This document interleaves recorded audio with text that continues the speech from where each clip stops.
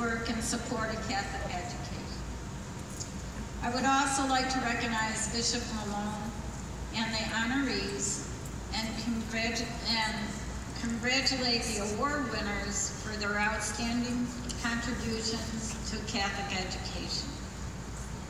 I am honored to receive this award and would like to thank Father Yetter, our pastor, and Mary Jo Aiken, the principal, for their support of the teachers and staff. Through their leadership and dedication, St. Mary's Swormville has grown and prospered. Catholic education continues to make a name for itself because of the hard work of all the dedicated teachers in the diocese. God is certainly present in our schools and has blessed us in untold ways. I know without a doubt I have been blessed. I feel Jesus' presence each time I ask him to teach through me. It becomes very evident he is the master teacher.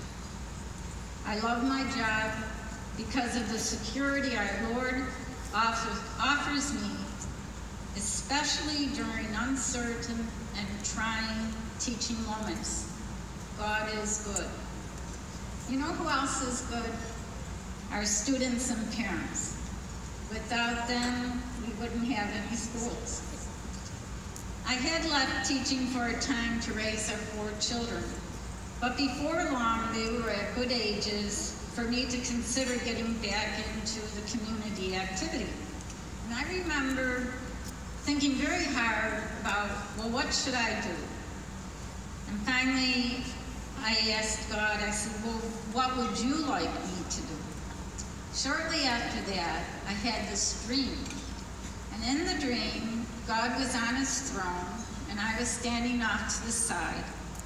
And in front of him were all these children. And I could also pick out my own children, which really pleased me. And then I woke up and I knew I was called back to teaching. So thank you again for this fantastic honor.